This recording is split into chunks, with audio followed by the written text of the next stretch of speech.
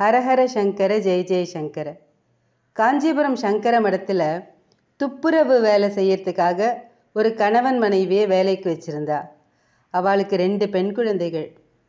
அவள் எல்லாரும் குடும்பத்தோட மடத்திலேயே தங்கி வேலை செஞ்சுட்டு இருந்தா அம்மா அப்பா வேலை செய்கிற நேரத்தில் குழந்தைகள் ரெண்டு பேரும் மடத்தில் விளையாடின்னு இருப்பா அவள் பக்தர்களுக்கு ரொம்ப இடைஞ்சல் கொடுத்துட்டே இருந்தா.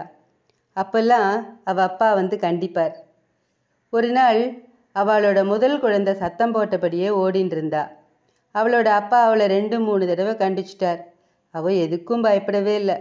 ரொம்ப சத்தம் போட்டு எல்லாரையும் தொந்தரவு பண்ணிட்டு இருந்தா உடனே அவள் அப்பாவுக்கு கோபம் வந்துடுது அந்த குழந்தைய அதோட அப்பா என்ன பண்ணினார் தெரியுமா? தொடப்பக்கட்ட ஒரு தடவை சொன்னால் கேட்க மாட்டியா? அப்படின்னு திட்டினார். குழந்தை மிரண்டு போய் அப்படியே நின்றுட்டா அந்த நேரத்தில் காஞ்சி பெரியவர் அந்த இடத்துக்கு பக்கத்தில் நடந்து போயின்னு இருந்தார். அவரோட காதில் அந்த ஊழியர் குழந்தையை திட்டினது அப்படியே விழுந்தது. அவர் அங்கேயே நின்றுட்டார் அடுத்த அடி நடக்கலை. தன்னோட சிஷ்யர்கிட்ட அந்த பணியாளரை கூட்டிகிட்டு வர சொன்னார். தான் குழந்தையை திட்டினதை பெரியவர் கவனிச்சிட்டார். அதனால தான் கூப்பிடுறாருன்னு பணியாளருக்கு நன்னா புரிஞ்சு போச்சு. அவர் செஞ்ச தப்பு அவருக்கு தெரியுமே. தலையை குனிஞ்சுட்டே வாயை பொத்திண்டு வந்து நின்னார். உன் பொண்ணை இப்படி திட்டினியே. உன் பொண்ணுக்கு என்ன பேர் அப்படின்னு கேட்டார் பெரியவர். அவளுக்கு லக்ஷ்மின்னு பேர் வச்சுருக்கேன் சாமி அப்படின்னார் அந்த தொழிலாளி. லக்ஷ்மின்னு அழகாக ஒரு பேரை வச்சுட்டு இப்படி கூப்பிடுறியே ஒரு தெய்வத்தோட பேரை பொண்ணுக்கு வச்சுட்டு தொடப்பக்கட்டைன்னு சொல்லலாமா அப்படின்னு மகா பெரியவா கேட்டார்.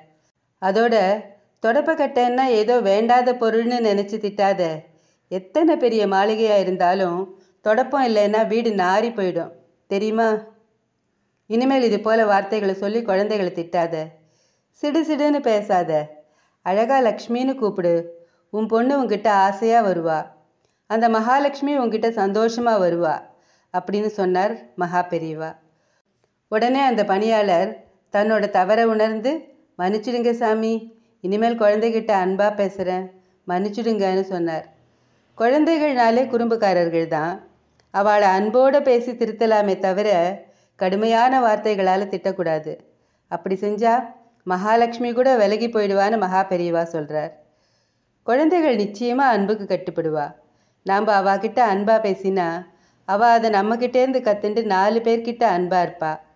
அதனால் பெரியவா தான் குழந்தைகளுக்கு முன்னுதாரணமாக இருந்து நல்ல வழி காட்டணும். ஸ்ரீ மகா பெரியவா திருவடிகளே சரணம்.